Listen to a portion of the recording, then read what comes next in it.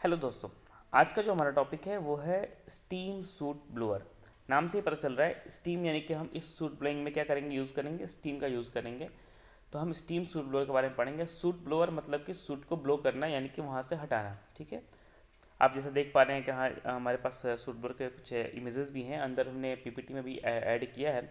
तो suit blower का main मकसद यही होता है कि जो हमारे फर्नेस में सूट डिपोजिशन हुआ, यानी कि हमने फायरिंग किया जो फ्यूल फायरिंग हो रहा है, फ्यूल फायरिंग के रिज़ल्ट में चाहे वो कोल फायरिंग हो या ऑयल फायरिंग हो, कुछ भी हो तो जब फायरिंग का जो कम्बस्टन प्रोडक्ट बना, वो कम्बस्टन प्रोडक्ट क्या करता है कि हमारे वाटर वॉल्स पर डिपोजिट हो जाता है सुपर हीटर इकोनोमाइजर्स के वेरियस प्लेसेस पे हीट ट्रांसफ़र जहाँ पर होता है, उस हीट ट्रांसफ़र एरिया पर डिपोजिट हो जाता है, जिसके रिज़ल्ट से क्या होता है कि वहाँ पे प्रॉपर हीट ट्रांसफ़र नहीं हो पाता है। नो डाउट, अगर हम बात कर रहे हैं कि एक फ्रेश मेटल मेटल में हीट ट्रांसफ़र करना और एक मेटल के ऊपर हमारा सूट डिपोजिशन हो जाए, या फिर वन एम का, टू एम का, थ्री एम का, या उससे भी ज़्यादा होता है काफ़ी मोटे मोटे सूट डिपोजिशन में आते हैं, क्योंकि ऐसे अगर हम बात करें कोयले की बात करें कि जो फ्यूल फायरिंग होता है, कोल फायरिंग, उसमें बहुत तरह के लो एफटी मतलब लो एक्सट्रीजन टेम्परेचर वाले भी कोयले होते हैं, जो अपर हम, हमें दिखता तो नहीं है रनिंग वाले में, लेकिन क्या होता है कि वो हायर मतलब आप बोल सकते हैं कि हाँ फ्यूज़न के बाद वो डिपॉजिट जाते हैं और फिर एक बड़े बड़े तो आप बोल सकते हैं कि बहुत बड़े बड़े पत्थर के रूप में डिपॉजिट जाते हैं। तो जब भी ये ऐसी चीज़ें डिपॉजिट होती हैं तो क्या होता है कि जो मेटल पे हीट ट्रांसफ़र होना चाहिए, वो हीट ट्रांसफ़र नहीं हो पाता है। अगर हम बात करें कि एक हमारे पास वाटर वॉल है और उस पर जो डायरेक्ट हीट हीट ट्रांसफ़र हो रहा है, और दूसरा अगर हम बात करें कि वाटर वॉल के ऊपर सूट डिपोजिशन होने के बाद अगर हम हीट ट्रांसफ़र करें तो दोनों में बहुत डिफरेंस है। क्योंकि क्या होता है कि इसके बीच में, इस केस में क्या होता है कि एक मीडियम आ जाता है ऐश का मीडियम आ जाता है, जो कि हमारे प्रॉपर हीट ट्रांसफ़र नहीं करता है और उसको प्रिवेंट करता है। ठीक है? तो इस केस में अगर हम बात करें कि हाँ जहाँ पे हमारा फिस मेटल है और दूसरा केस जैसा कि आप देख पा रहे इसमें, इनमें हीट ट्रांसफ़र अगर हम बात करें किसमें ज़्यादा होगा तो नो डाउट फ्रेश वाले में, क्योंकि इसके बीच में कोई एक्स्ट्रा मीडियम नहीं है। हीट और मेटल टेम्परेचर जिसको हमको हीट देना है मेटल को, उसके बीच में कोई मीडियम नहीं है, लेकिन दूसरे केस में क्या है कि एक मीडियम आ जाता है फ्लूगस का या फ्लाइस का फ्लाइस बोल सकते हैं या तो उसका एक मीडियम क्या करता है, उसको प्रिवेंट करता है, जिससे कि हमारा हीट ट्रांसफ़र नहीं होगा। और हीट ट्रांसफ़र नहीं होने का रिज़ल्ट क्या होगा कि वो हीट क्या हो जाएगी अल्टीमेटली बॉयलर से बाहर चली जाएगी, क्योंकि यूटिलाइज होगी नहीं तो अल्टीमेटली वो फर्नेस के बाहर चली जाएगी और वेस्ट हो जाएगी। तो हमारा जो मेन मकसद है कि हम अगर हम बात करते हैं कि हाँ फ्यूल को हमने जो भी बॉयलर में डाला फायरिंग किया तो उसका मैक्सिमम हीट यूटिलाइजेशन हो सके। जैसे कि हम पहले भी डिस्कस कर चुके अपने वीडियोज़ में तो वो मैक्सिमम हीट यूटिलाइजेशन नहीं होगा, क्योंकि वह हीट लॉसेज हो जाएँगे, ठीक है? तो ये क्या करता है कि सूट ब्लोइंग क्या करता है कि इन्हीं सूट जो डिपोजिशंस हैं, इनको रिमूव करता है। अभी रिमूव हो जाने के बाद क्या होता है कि हमारा हीटिंग सरफेस एरिया में हीट ट्रांसफ़र बढ़ जाता है और हम जो है फिर क्या बोलते हैं मैक्सिमम हीट यूटिलाइजेशन कर सकते हैं फ्यूल का, जो हम फ्यूल यूज़ कर रहे हैं, ठीक है? तो सूट ब्लोइंग अगर डेफिनेशन की बात करें तो कोई कॉम्प्लिकेटेड चीज़ नहीं है। सूट ब्लोइंग मतलब हम किसी भी तरीके से सूट को रिमूव करना है इधर वो वाटर हो या फिर स्टीम हो या एयर हो, किसी भी मीडियम से सूट को रिमूव करना है उसके हीटिंग हीट ट्रांसफ़र एरिया से हीट सर्फेसेस से, जिसके रिज़ल्ट में क्या होता है कि हमारा जो मीडियम है, यानी कि हीट ट्रांसफ़र सर्फेसेस है, वो क्लीन हो जाए। ये ऑटोमेटिक भी हो सकता है। आजकल पहले के ज़माने में तो नहीं, लेकिन अभी क्या होता है कि अभी ऑटोमेटिक सॉफ्टवेयर होता है। हमने एक कमांड दिया सूटब्लिंग स्टार्ट का और फिर हमारा जो है एक सीक्वेंस होता है, उस सीक्वेंस को फॉलो करते हुए हमारा सूटब्लिंग स्टार्ट हो जाता है। ठीक है? और जो नॉर्मली हम बात करें सॉफ्टवेयर तो हमारा नीचे कोशिश रहता है कि हमारे जो फ्लूगस जहाँ से स्टार्ट होती है, वहाँ से सूटब्लिंग करते हैं। ताकि हमारा फिर से ऐसा ना हो कि हाँ जैसे हम बात करें कि हमारा ये फर्नेस है। ठीक है?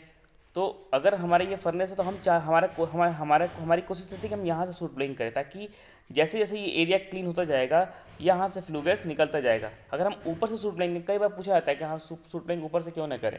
तो हमारे लॉसेज हैं। अगर हमारा कोई हैवी मटेरियल पार्टिकल्स यहाँ से गिर, गिरता है तो फिर से क्या होता है? चांसेस होते हैं कि हाँ रीडिपोजिशन का चांसेस होता है इंस्टेंटली तो हम नहीं चाहते कि हाँ हमारा फिर से रीडिपोजिशन हो सूट का वाटर वॉल्स पे। ठीक है? तो इसीलिए हम क्या करते हैं कि जो फ्लूगस का पाथ है, यानी कि हमारा फ्लूगस कहाँ से बनना स्टार्ट होता है? फायरिंग जोन हमारा कहाँ पे है? फायरिंग जोन हमारा जहाँ पे हम फायरिंग करते हैं, उस पर है। तो वहाँ से शूटिंग हम करते हैं, ठीक है? और हमारा ट्राई रहता है कि यहाँ पर, यहाँ से स्टार्ट करें और सिक्वेंस फिर हम यहाँ से होते हुए फिर फ्लूगस का जो पाथ है, उसको, पाथ को फॉलो करते हुए हम सूट करते जाएँ, ठीक है? ये हमारा लगभग एक सिस्टमेटिक प्रोसीजर होता है और ऑटोमेटिक हम जो सूट करते हैं, वो यही इसी चीज़ को प्रोसेस को फॉलो करता है। हो सकता है कि हाँ सी बी सी बॉल्स जो होते हैं, उनमें नॉर्मली अगर हम फर्नेस में नहीं होते सूट ब्लोअर तो हम वो क्या करते हैं कि जहाँ पे होता है टॉप एरिया में है हमारा, वहाँ से स्टार्ट करते हैं सूट ब्लेइंग और सेम वही प्रोसीजर है कि फ्लूगस को फॉलो करते हुए हम जाते हैं, ठीक है? जहाँ से हमारा सूट ब्लेइंग स्टार्ट होता है। तो हमारा ये है कि सूट ब्लेइंग का जो डायरेक्शन होता है, वो फ्लूगस का पाथ है, ठीक है? हम चाहे तो बीच बीच में कर सकते हैं। जैसे हमको लगता है कि हाँ किसी पर्टिकुलर एरिया में मेटल टेम्परेचर डाउन हो रहा है या फ्लूगस का टेम्परेचर डाउन हो रहा है तो हम उसको मैनुअली ऑपरेट करके या फिर आ, उस उस पर्टिकुलर एरिया को सुडब्रिंग करके हम वहाँ से आ, जो डिपोजिशन है उसको रिमूव कर सकते हैं। ठीक है? तो वैसे ही वही ऑटोमेटिक का हुआ और दूसरा मैनुअल यानी कि हम चाहे तो इंडिविजुअली किसी भी सूट को ऑपरेट करके एक प्रोसीजर के थ्रू सुडब्लिंग कर सकते हैं, ठीक है? ये डिपेंड करता है डिसीज़न हमारे ऊपर होता है, यानी कि जो हमारा बॉलर ऑपरेट कर रहे हैं, उनके ऊपर होता है कि वो किस टाइप से सूटमिंग करना चाहते हैं, ठीक है? सूटमिंग करना क्यों है? ये क्वेश्चन आता है कि हाँ पूछा जाता है कि सूटमिंग हम क्यों करें, ठीक है? उसके रीजन हमको दिखे, दिए, जैसा कि देखिए improve furnace efficiency furnace efficiency से क्या मतलब है? भाई फर्नेस का जो कम्बस्टन एफिशिएंसी हम बात करेंगे सीधा बात है कि कंबस्टन एफिशिएंसी में फर्नेस एफिशिएंसी यानी कि हमारे जो हमने फर्नेस में फ्यूल फायर किया, उसकी मैक्सिमम यूटिलाइजेशन कैसे होगी? फर्नेस की एफिशिएंसी क्या होगी भाई? तभी बढ़ेगी जब उस, हमने जो फ्यूल दिया है, हमारे फ्यूल हमारा फर्नेस का क्या काम है कि जो भी हीट हमको मिला, उसको मैक्सिमम यूटिलाइज करना, ठीक है? तो तभी होगा जब हमारा प्रॉपर हीट ट्रांसफ़र होगा तो वो क्या करता है? फर्नेस की एफिशिएंसी बढ़ाता है, यानी कि हमारा अल्टीमेटली बॉयलर एफिशिएंसी बढ़ जाती है। दूसरा रिड्यूस वेस्ट हीट रिकवरी अभी हम इसी चीज़ को मैं अगर हम, हमने अभी डिस्कस भी किया इसको एक्सप्लेन करें कि हमारा जो भी हीट ट्रांसफ़र हुआ अगर हमारा डिपोजिशन होता है अगर वो हीट ट्रांसफ़र प्रॉपर नहीं होगा तो सीधा सीधा क्या बात है? अगर हीट ट्रांसफ़र नहीं होगा तो हमारा वेस्ट हीट रिकवरी यानी कि हमारा जो हीट लॉसेज है वो बढ़ जाएँगे। अभी हमारा हीट अगर यहाँ पे प्रॉपर ट्रांसफ़र नहीं होता है तो हमारे हीट लॉसेज बढ़ेंगे क्योंकि हीट ट्रांस पूरा पूरा ट्रांसफ़र ही नहीं हुआ। तो जो भी हीट ट्रांसफ़र नहीं हुआ, उसके बाद क्या, उसके रिजल्ट्स में क्या होंगे? अगर ये हीट ट्रांसफ़र यहाँ नहीं होता है तो आगे भी नहीं होगा और धीरे धीरे वो फर्नेस से, यानी बॉलर से बाहर चला जाएगा और फिर अल्टीमेटली वो इन्वायरमेंट में वेस्ट हो जाएगा। ठीक है? Clean and improve heat transfer area no doubt हमने सूट पाएँगे मेरा मोटो ही वही है कि हाँ हमको जिस, हमारा हीट ट्रांसफ़र एरिया है, उसको क्लीन करना। Reduce fuel consumption fuel consumption क्या होता है कि एक अगर हम बात करें कि लगभग एक आप बोल सकते थम रूल है या फिर कैलकुलेशन हमने किया हुआ है कि हाँ मतलब हमने नहीं किया हुआ है। मतलब कि एक कैलकुलेशन किया जाता है कि हाँ मतलब जैसे कि हम टेम्परेचर बोलते हैं ना कि हाँ बीस से बाईस डिग्री सेंटीग्रेड टेम्परेचर पर हमारा एफिशिएंसी बढ़ता है वन परसेंट के आसपास, अगर हमारा फ्लूगस आउटर टेम्परेचर उसी तरीके से है कि अगर हमारा three M M of soot जो अगर हमारा एक वाटर वॉल्स यानी हीट ट्रांसफ़र के ऊपर थ्री एम का सूट डिपोजिशन होता है तो लगभग हमारा फ्यूल कंजप्शन है, वो लगभग ढाई परसेंट के आसपास बढ़ जाता है, ठीक है? तो एक, ये भी आप बोल सकते हैं कि एक थम रूल भी आता है कि हमारा, लेकिन हम मेज़र करने तो नहीं आते हैं। हमने मेज़रमेंट तो करने जाते नहीं कि हाँ फर्नेस में कितना एम का सूट ब्लोर है भाई, जाना भी नहीं, क्योंकि वहाँ पे हाई टेम्परेचर जो होता है और अलाउ नहीं होता है। तो हमें पता नहीं चलता है कि उसके अंदर सूट ब्लोइंग सूट डिपोजिशन कितने एम का है, लेकिन हम टेम्परेचर जो है उसके हिसाब से हम एक अंदाज़ा लगा लेते हैं, या फिर हमारा, जैसे दिया हुआ है कि हाँ फ्यूल कंजप्शन हमारा ढाई परसेंट बढ़ गया है तो अगर हमारा फ्यूल कंजप्शन बढ़ रहा है तो उससे भी हम एक अंदाज़ा लगा सकते हैं कि हाँ कितना सूट डिपोजिशन कितना एम का सूट डिपोजिशन हुआ है उस फर्नेस के ऊपर। यूनिफॉर्मली नहीं होता है, ये डिपेंड करता है। दूसरी बात ये भी बता दूँ कि ये यूनिफॉर्मली नहीं होता है कि हमारा जो पूरा हीट ट्रांसफ़र एरिया है या फिर हमारा बोल सकते हैं कि हाँ फर्नेस में जहाँ पे फायरिंग हो रहा है वाटर वॉल्स में और दूसरा अगर बात इकोनोमाइज़र में सुपर हीटर्स में, सब में यूनिफॉर्मली डिपोजिशन हो, ऐसा ज़रूरी नहीं है। ये डिपेंड करता है कि कहाँ पर वो डिपोजिट हो जाता है और लास्ट में कैसे कैसे वो निकलता है, ठीक है?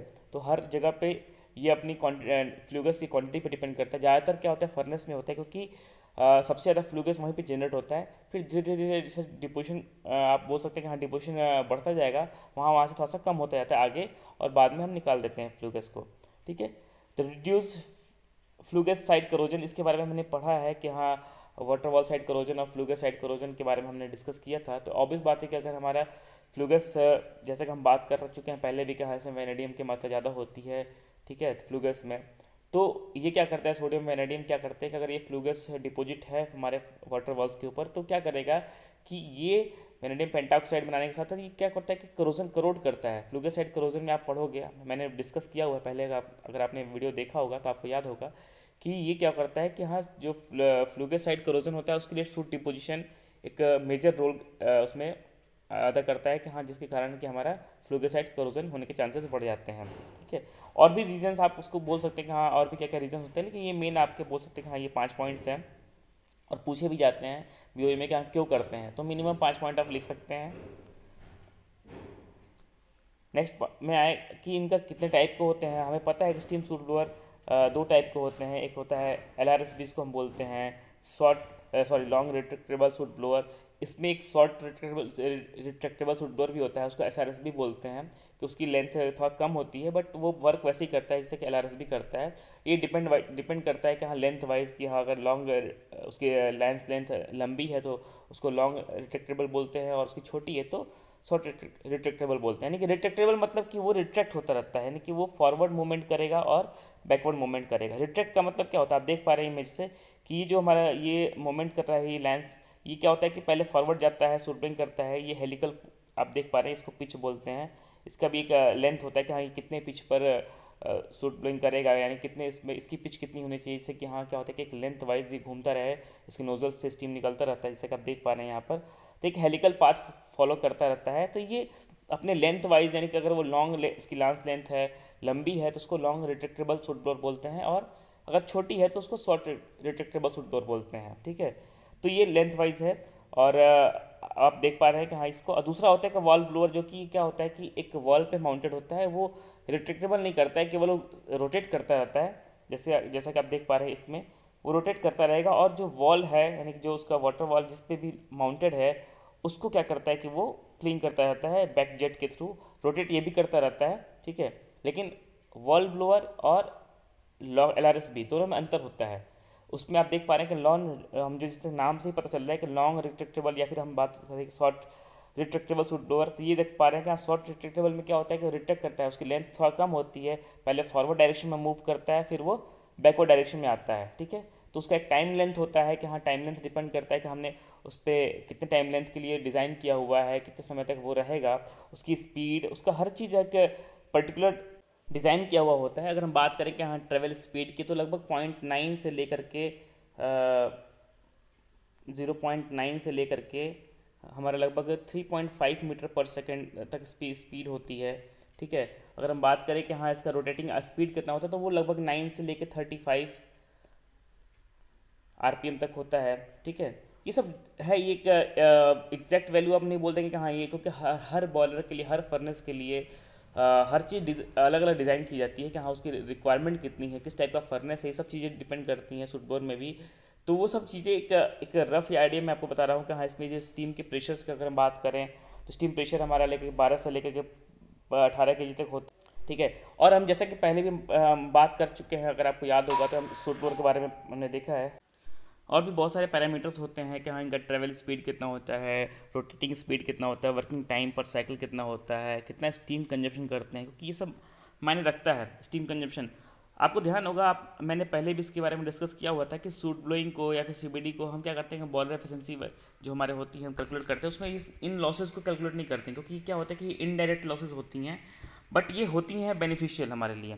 ये भले ही हमारे लिए इनडायरेक्ट लॉसेज हैं बट ये हमारे लिए बेनिफिशियल होती है, हमारे अल्टीमेटली क्या करती हैं कि हमारे फर्नेस की यानी बॉयलर की एफिशिएंसी को बढ़ाते हैं। इसलिए इनको हम कंसिडर नहीं करते हैं, ये हमारे लिए मान, हम मान के चलते हैं कि ये बहुत ज़रूरी है, ये इंपॉर्टेंट है तो इसके बारे में हम, इसलिए हम करते हैं। तो हमने डिस्कस किया कि हाँ एल आर एस बी और वॉल सूट ब्लोअर दो तरीके के होते हैं स्टीम सूट ब्लोअर ठीक है?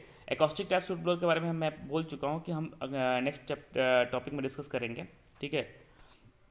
तो जैसा कि आप देख पा रहे हैं कि हाँ ये एलआरएसबी का आ, है वैसे ही हम एलआरएसबी है इसका हेलिकल हमने डिस्कस किया हाँ हेलिकली मूवमेंट करता है लांस जो है फॉरवर्ड डायरेक्शन में जाता है फिर वो रिवर्स में आता है ठीक है?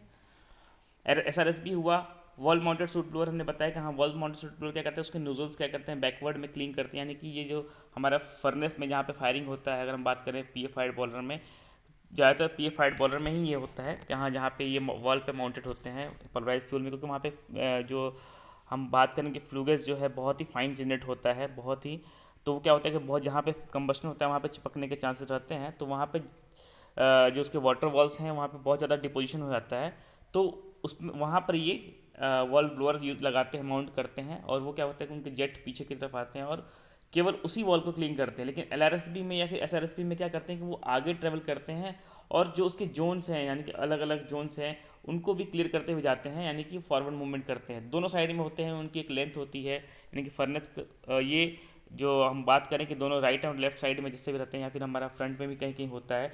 तो ये सब चीज़ें अल्टीमेटली क्या होता है कि अप्रोच होता है कि जहाँ तक हमारा पूरा जो हीट ट्रांसफ़र एरिया है, उसको पूरा पूरा वो कवर करे।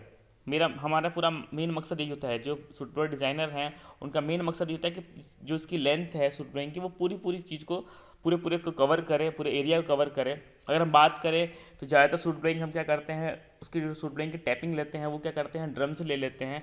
तो वो एक तरह से सेचुरेटेड स्टीम होता है, लेकिन आपको पता है, और हमने इसके बारे में पहले डिस्कस किया हुआ है, कि सेचुरेटेड स्टीम को हम हम नोजल से पास करते हैं तो क्या होता है कि वो सुपरटेड स्टीम बन जाती है। तो अल्टीमेटली जो हम हम जो सूट ब्रेइंग करते हैं फर्नेस में, वो सेचुरेटेड नहीं बल्कि सुपरटेड स्टीम से करते हैं। तो हमें इसमें सुपरटेड स्टीम एक्स्ट्रा लेने की कोई ज़रूरत नहीं पड़ती है ठीक है? तो क्योंकि लोअर प्रेशर में जैसे हमको पता है कि हाँ जैसे हम हमारे लो प्रेशर में इन्वायरमेंट में छोड़ेंगे नोजल को थ्रू पास करने के बाद तो हमारा उस उस प्रेशर पे टेम्परेचर हाई टेम्परेचर के कारण वो सुपरटेड स्टीम में कन्वर्ट हो जाता है। काफ़ी कुछ काफ़ी बार इसको डिस्कस किया है कि प्रेशर के कारण हमारा प्रे, हर प्रेशर पे हमारा क्या होता है सेचुरेशन टेम्परेचर डिफरेंट होता है। तो जो 18 से 20 के प्रेशर पे जो हमारा सेचुरेशन टेम्परेचर है जब हम उसको फर्नेस के अंदर डालते हैं इंजेक्ट करते हैं तो वहाँ पर क्या होता है, वो एक सुपरटेड स्टीम की तरह इंजेक्ट करता है और हिट करता है, ठीक है? और नोजल की वजह से उसकी वेलोसिटी भी काफ़ी ज़्यादा होती है, जिससे कि वो काफ़ी कुछ जो वहाँ पर डिपोजिशन है, उसको क्लीन करता हुआ जाता है, ठीक है? उसके हम पार्ट्स की बात करें, अगर हम एल के पार्ट्स को लेते हैं तो आपको दिख पा रहा है। सबसे इसका अगर हम बात करें कि ये जो वॉल्व होता है, ये बहुत ही अलग तरह का बोल सकते हैं, इसको पपेट वॉल्व बोलते हैं। आपने पढ़ा होगा, सुना भी होगा, इसके बारे में भी हम कभी डिस्कस करेंगे डिटेल में। तो ये पपेट वॉल का फ़ंक्शन ये होता है कि एक जब भी ये फॉरवर्ड डायरेक्शन में मूव करता है, यानी कि इस टाइप का डिज़ाइन रहता है, आप इसको ज़रूर देखिएगा अगर आपने नहीं देखा है कि स्टीम यहाँ तक चार्ज रहती है, लेकिन जैसे ही हमारा सूट डोर यानी कि हमारा एल आगे की तरफ़ फॉरवर्ड करता है तो हमारा ये पपेट वॉल ऑपरेट हो जाता है। और जैसे ही ये होम पोजिशन पर यानी कि यहाँ से फॉरवर्ड होने के बाद होम पोजीशन पर आता है रिट्रेक होके, वो ये बंद हो जाता है। तो इसका मकसद यही रहता है कि जैसे ही ये हमारा एल आर आगे की तरफ़ फॉरवर्ड मूवमेंट करता है, ये ओपन हो और जैसे होम पोजिशन पर आए, वो फिर से बंद हो जाए। तो हमारा क्या होता है कि इसकी यूजेस ये है कि हाँ बस इसको जब तक एल आर ट्रैवल करे, तभी तक वो ऑपरेटर हो, तभी तक वो अपना स्टीम सप्लाई करता रहे, ठीक है? तो इसके पार्ट्स अगर हम बात करें, आप देख पा रहे हैं कि हाँ ये सपोर्ट्स हुए हैं हमारा, ये मेन लांस है और ये नोज़ल है। जिसमें नोज़ल्स में रहते हैं, चारों तरफ़ से निकलते रहते स्टीम हमारा, ठीक है? कवर प्लेट्स ये हमारे हुए हैं टर्मिनल बॉक्स मोटर दो तरह की होती हैं। इसमें अगर आप देखोगे वहाँ पर जाके तो एक रोटेटिंग मोशन मोटर होती है और एक ट्रांसफ़र मोटर होती है। यानी कि हमारे पास इसमें अगर हम बात करें कि दो तरह की मोशंस होती हैं। हमें पता है कि भाई एलआरएसबी में आप जाकर देखोगे तो आपको दो तरह के मोशंस दिखेंगे। पहला क्या होता है कि रोटेटिंग यानी कि जो लांस है उसको रोटेट करता रहता है, आप अपने पिछले डायग्राम में देखा था क्योंकि वो हेलिकल पाथ फॉलो करता है यानी कि वो रोटेट होता रहता है। तो एक एक एक मोटर क्या करेगा उसको रोटेटिंग रोटेशन प्रोवाइड करेगा और दूसरा मोटर जो है उसको ट्रांसफ़र मोशन यानी कि फॉरवर्ड और उसको फिर बैकवर्ड मोमेंट प्रोवाइड करता है ठीक है? और इनके बीच में एक लिमिट स्विच होती है ताकि वो आ, हो कि हाँ मैं इस लेंथ के बाद यानी कि यहाँ आने के बाद अगर हम बात करें यहाँ तक अगर ये मोटर ट्रेवल करता है तो यहाँ तक के बाद ये मोटर स्टॉप हो जाए फिर से ये लिमिट स्विच कट होने के बाद यानी कि वहाँ तक वो फॉरवर्ड मोशन करेगा और जैसे ही लिमिट स्विच को टच करेगा, वो फिर से रिवर्स मोशन की तरफ़ आएगा और एक रिवर्स में भी इसकी लिमिट स्विच होती है, जिसको कि वो, जैसे ही वो वहाँ पर टच करता है, वो वहाँ पर स्टॉप हो जाता है। तो दो लिमिट स्विच के बीच में, यानी कि हम बात करें कि जितना हमको ट्रेवल डिस्टेंस चाहिए, वो दो लिमिट स्विच के बीच का डिस्टेंस होता है। अगर आपको वहाँ पे आप जाओगे एल आर तो आपको दिख जाएगा लिमिट स्विच फॉरवर्ड और रिवर्स का। यानी कि हमारे जो फॉरवर्ड का जहाँ तक मैक्सिमम वो लेंथ ट्रेवल करेगा और जितना लेंथ, यानी कि रिवर्स में कितना वो लेंथ ट्रेवल करता है। तो वो उतनी ही लेंथ फर्नेस के अंदर फॉरवर्ड मोमेंट करता है। तो ये हमारा दो लिमिट स्विच डिसाइड करते हैं इसके मोमेंट को ठीक है? अगर इससे आगे जाता है या फिर इससे पीछे जाता है तो हमारा मोटर ट्रिप होने के चांसेस बढ़ जाते हैं क्योंकि वहाँ तक उसके बाद हमारा रिस्ट्रिक्शंस होते हैं मोटर के अंदर कि हाँ ओवर ट्रेवल ना करे और या फिर हमारा बीचे बैक ना हो ठीक है? इन सब के अलावा आप देख पा रहे हैं पार्ट से इसमें एक, एक और चीज़ होता है कि कभी कभी क्या होता है कि सूट लोअर ओवर ट्रैवल करने की वजह से या फिर किसी रीजन से ट्रिप हो जाता है तो बैक में पीछे में एक नट टाइप का आप देखोगे अरेंजमेंट वहाँ पे रहता है। आप किसी भी बॉलर ऑपरेटर से जाके पूछेगा उससे क्या करते हैं कि हाँ उसको हम वहाँ से रिवर्स पोर्शन में लाते हैं। क्योंकि क्या होता है कि सूट ब्लोअर किस, किसी भी केस में फर्नेस के अंदर ज़्यादा देर तक नहीं रहना चाहिए।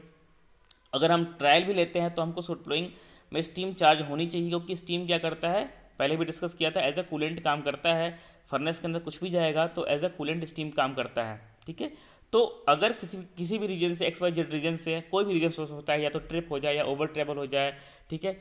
अगर वो हमारा सूट ब्लोअर रिलायंस जो है, ये जाकर के फर्नेस में अटक जाता है तो हम पीछे जो होता है नट की नट की वजह से उसको बोलते हैं, और उसको हम फिर रिट्रैक्ट करते हैं कि उसका हैंड व्हील होता है, उसमें फंसा करके, गोल गोल घुमा करके, आप देखोगे वहाँ पर तो उसको रिट्रैक्ट मैनुअली रिट्रैक्ट करते हैं, ताकि हमारा जो है यहाँ पर डिफॉर्मेशन ना हो, अगर ये अंदर रहता है हाई टेम्परेचर एरिया में तो इसके बेंड होने के चांसेस बढ़ जाते हैं। तो हमारा ये रहता है प्रिकॉशन रहता है कि हाँ उसको सूट ब्लोइंग हम करते समय ध्यान देते हैं कि हमारा कभी भी किसी भी कंडीशन में सूट ब्लोअर फर्नेस के अंदर ना फंसे ठीक है? तो ये हमारा रीज़न हुआ।